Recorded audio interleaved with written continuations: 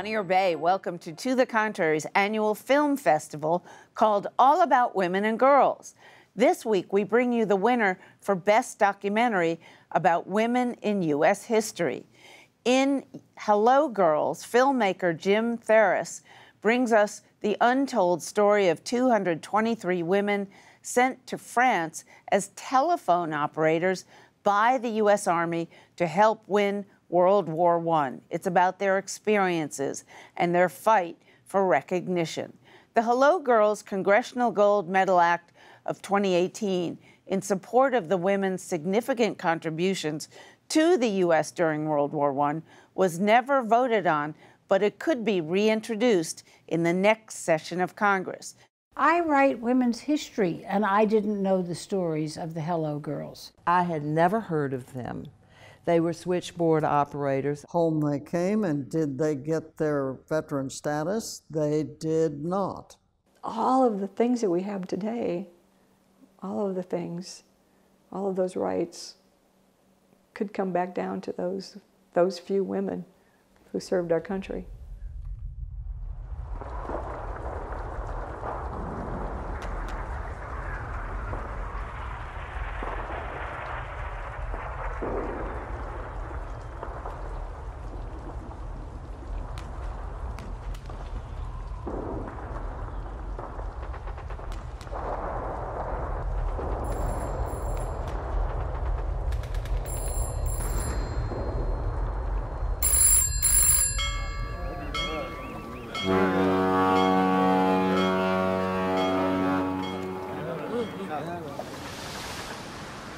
Aboard at last after two months of preparation in the USA.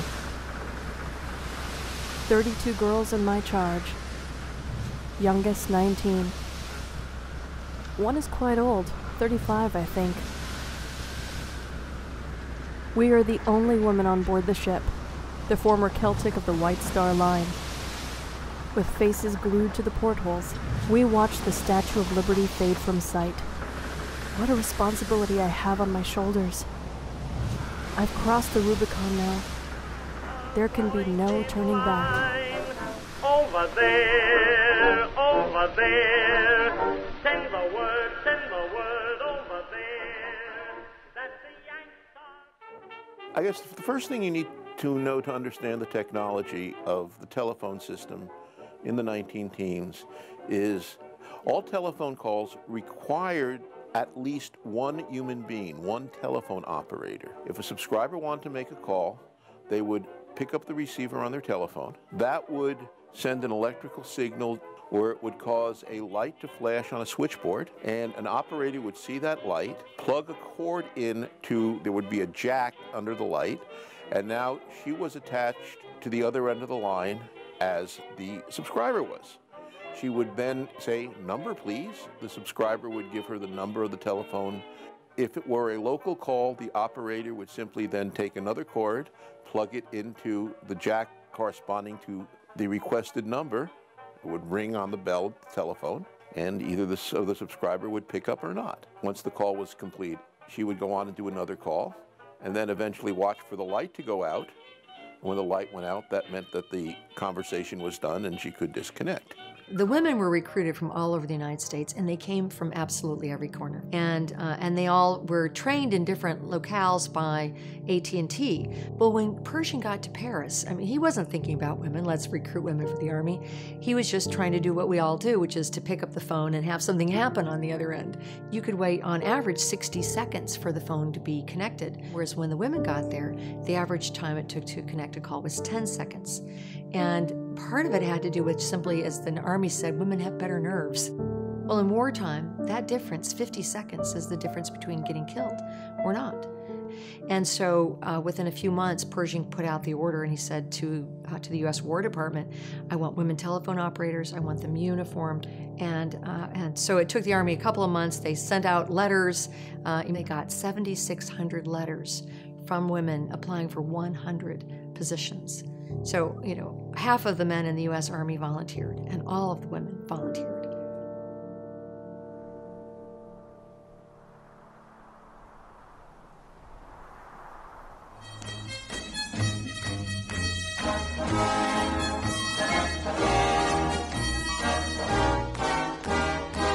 Grace Banker had very strong faith she graduated, she went to AT&T. Got the very best job a woman from Barnard College of Columbia University could get at the time, which was a telephone operator. So she was there until, lo and behold, she saw an advertisement looking for uh, women to serve in the Signal Corps overseas. And, and she, as soon as she read in, in the New York Post that they were looking for women operators, she wrote that very day. And then I think it was January of 1918 said, I, I, am very interested and I will, I will serve for the duration of the war. And to her enormous surprise, she was made the leader of the expedition because there weren't women soldiers and therefore there weren't women officers. But they needed women officers. And so they made her the chief operator. Awoke in Liverpool after 12 days at sea. Some American boys were lost. The grippe, they say. It's wartime in England. Fish soup and awful barley coffee. The bread, hard as a rock. A few days later, we crossed the Irish Sea. The greenest water I have ever seen. The passage was dangerous. I awoke one morning and in the distance, I saw a lighthouse. The fog lifted and I could see Le Havre itself. Finally, France.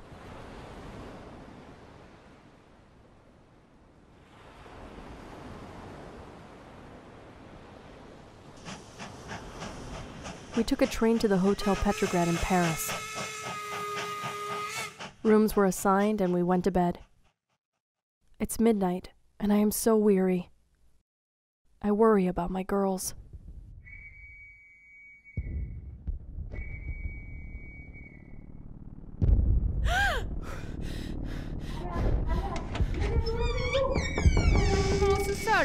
Rapidement. Vite Vite. Levez-vous Levez-vous. Vite à la cave. Descendez rapidement au sous-sol. Levez-vous. Rapidement. Vite Vite. Vite, vite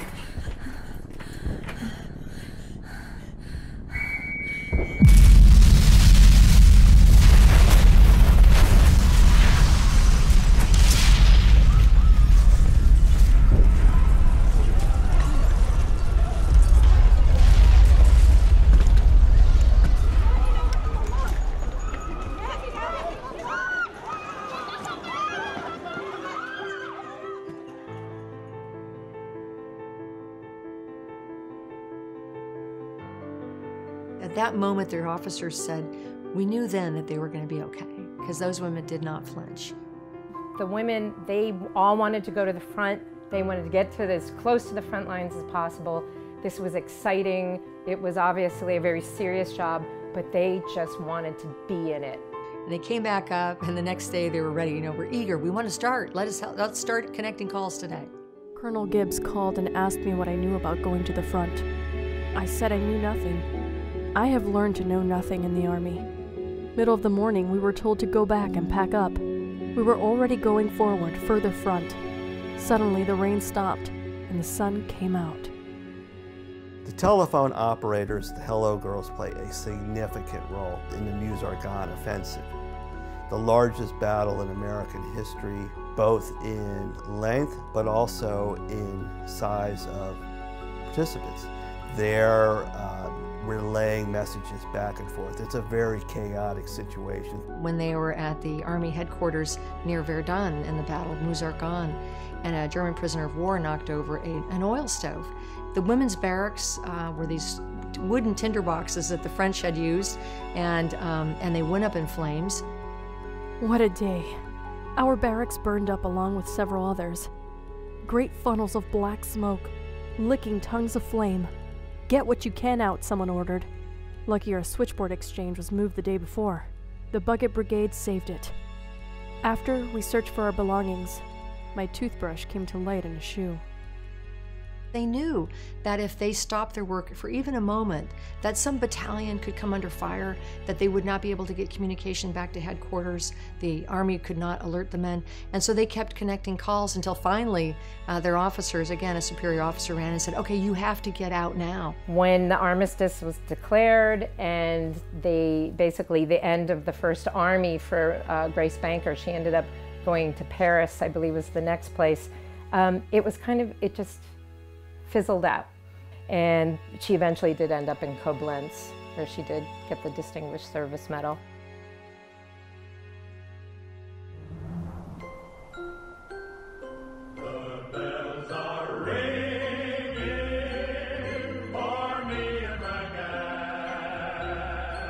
And it was just sort of part of the dinner table conversation, very typical 1950s. And so stories would get told, and, and part of the joke and sort of casual conversation was my grandmother and grandfather both serving in the army in World War I and chasing each other around France during this romance that they had. Um, while he was the driver and chauffeur and bodyguard, and she was the Signal Corps telephone operator. Having met my grandfather, would get transferred somewhere, partly because perhaps the supervisors were a little concerned about this young love happening. Nevertheless, oh golly, do we really want this unfolding love story? So they would transfer my grandmother somewhere, and my grandfather would get transferred. Wonderful stories of the Signal Corps girls, because of course the switchboards were the pull cord button things, and um, in the evenings, if Jack was over here across France and Addie was over here, the Signal Corps girls who were all in on this romance would plug them in across the switchboards across France so Jack and Addie could talk of an evening. And there was always the joke that they were unplugging the generals and saying, oops, but plugging in Jack and Addie.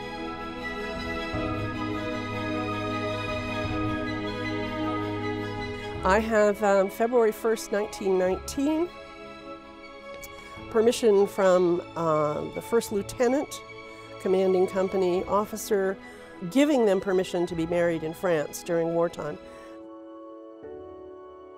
February 4th. Met Addie at 8:45 a.m. Had breakfast and went to the Bureau of Registration, then to mayor's office.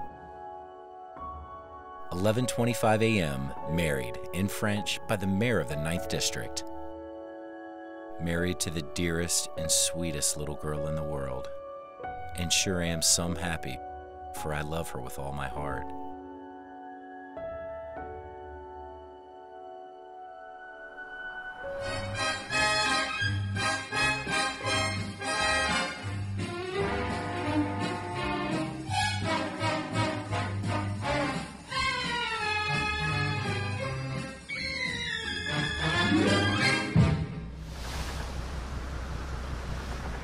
As we sailed out of New York Harbor, a young aviator asked me, Why are you in that uniform?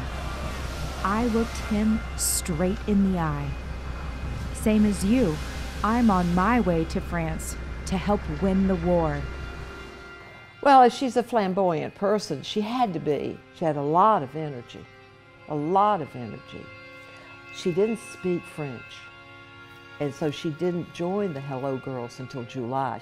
But they needed her by that time because she was a highly experienced trainer, and especially on those little magneto switchboards that were going to go up into the trenches. And so she trained 60 men one time in three days. And the man said to, in the group as they were assembling, Well, when do we get our skirt? You're not going to get one. But think about this that when you're in the trench with your rifle, you have a rifle. When you go into the trench with your little magneto, you could save a whole battalion. I finally went to see the Army doctor. The infection in my toe was severe. He took one look and prescribed cold steel, lanced it without anesthesia, he was surprised when I didn't squeal. I got to France a week late. She stayed longer in France. She stayed three or four months longer. She took over as the chief operating officer in the Paris office when uh, Grace Banker didn't want it. And she had a riotously fun time and said that uh, I've always thought of her as one of those soldiers that they talked about, you know, that what are you going to do after they've been to Paris? How are you going to get them back on the farm? You know, and she would say that intimate that. She didn't want to go home right away. But then she had to. She was engaged. They were supposed to be getting married. Life was going to intervene.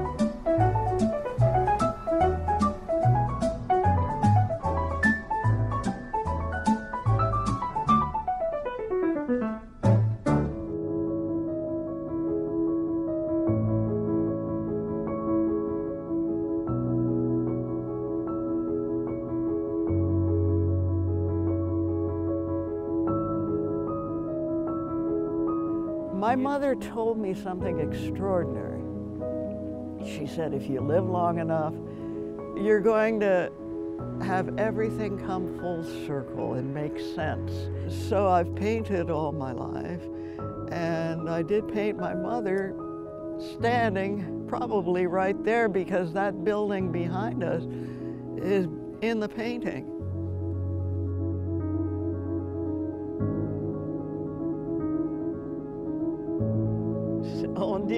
A 100 ans. Hein?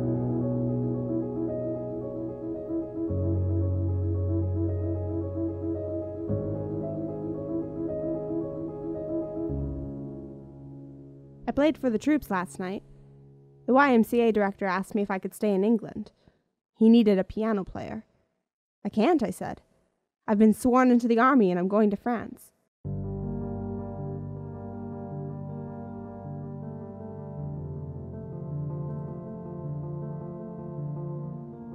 At the end, 223 of these women were chosen, and I am very proud to say that my mom was one of them. She was from a very small town, it's from Michigan, from Marine City, and she had she was of French Canadian descent, spoke some French in the house, and had taken lessons from a Jesuit priest. And she was chosen, and it was a great honor for her because you see her older brother, and here's a picture oh, of her older brother, who was, by the way, a good-looking one. That's Wallace Jor, also from Marine City. And uh, they both served. Now, he was with the 1st Army Quartet, so we all used to tease him. I said, Hey, Uncle Wally, your sister was on the front lines. You were singing your way. It's a long way to Tipperary, all the way. How did this happen? And my mother, who was a, a pianist or a great piano player, has played for General Pershing. In fact, she said the night of the armistice in 1918, they were all playing. She was probably doing a great job on the piano. The war came to an end so suddenly that people didn't see it happening almost.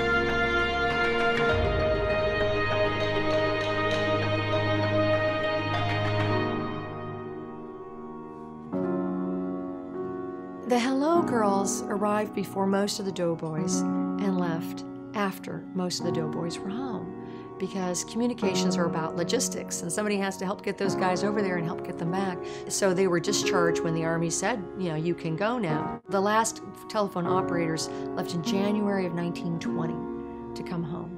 And when they came home, they were told, you were never soldiers. Dear Senator Jackson, I am one of the Signal Corps telephone operators who enlisted and were sent to France during World War I to operate Army switchboards. Dear Madam, reference is made to your application of June 16, 1941 for the Purple We Heart signed Decoration. no contracts. We wore regulation uniforms with Army buttons and Signal Corps insignia. 10. The members of the Signal Corps Overseas Telephone Unit did not possess military status, but were civilian employees. Only males can serve. Served overseas as Many of our women are gone now. The government need to fear no financial burden. But we do want our recognition to which we Department of the are entitled. changed. Inasmuch as you are not a bona fide member of the Army, but served in the capacity of a civilian employee, I regret that you are not eligible. Please, Senator Jackson, will you work on our team? We want our rightful place in history. Sincerely yours, Merle E. Anderson. It was mystifying to the women how they could not have been soldiers when they were told again and again, "You're in the army now," and uh, and the army said such things as, you know, well, you never took the army oath, and they said, well, but you know, in our personnel files we have, you know, evidence of the many oaths they took, you know, oath of loyalty to the U.S. Army, which they took multiple times, especially as they rose in rank. Every single time they had to take the oath again, and then the army said, well, you were civilians under contract, and they said, but we have no civilian contracts. We signed no contract. We took an oath. When the Army wrote their regulations, one word, they all realized, those that were still living, one word cost them 60 years.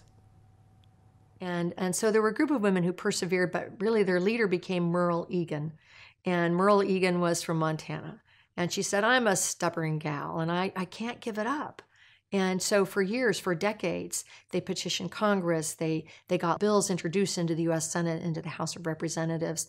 They contacted newspapers and magazines. She went to schools to tell school children so the story wouldn't be lost. She had been organizing the political case and the public relations case, but he said, I think there's something here in the law. And the interesting thing, the key critical piece of evidence ultimately became the uniform itself. And so if the government hands you a uniform and tells you to wear it, the government has made you a soldier. Well, as, as a lawyer, I was focused first on do we have a case here that we could go to court on? Uh, one of the things they found, and actually the National Organization for Women told Merle Egan, well, Senator Barry Goldwater is working out a bill to acknowledge the women of World War II who were also dissed by the U.S. government. So when I learned of this uh, legislative activity, it seemed like a, a more fruitful avenue. And, uh, and so what happens is that Mark Ho and the National Organization for Women and Merle Egan and Barry Goldwater, uh, and with the help of also congresswomen like Lindy Boggs. So when she was elected to Congress, uh, one of the women who had been involved with Hello Girls got in touch with her. I got in touch with the two new female members of Congress, my mother and Marjorie Holt, and uh, said, here's what's going on, help us. She realized, as do many women who go to Congress, that not only was she representing the 2nd District of Louisiana, she was representing, unbeknownst to her, the women of America. We convinced them to expand that legislation ever so slightly to include the WASPs of World War II and the Signal Corps women of World War I. Today, the few Signal Corps telephone operators of World War I who are still living can celebrate our victory. The Army has finally admitted we are legitimate. In 1917, General Pershing called for American women to enlist to operate the Army switchboards. But when the job was finished, we were told we hadn't been in the Army. More than 50 bills were introduced in Congress without success. In November 1977, a package bill was sent through Congress. We were finally in the Army.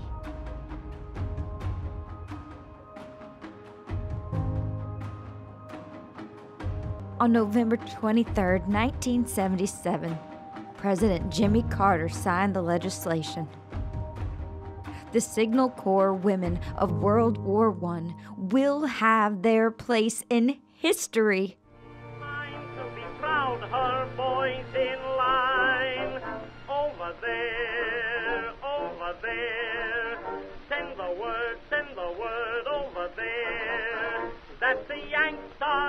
We hope you found this edition of our All About Women and Girls Film Festival enlightening. Please follow me on Twitter and visit our website, pbs.org slash to the contrary. And whether you agree or think to the contrary, see you next week.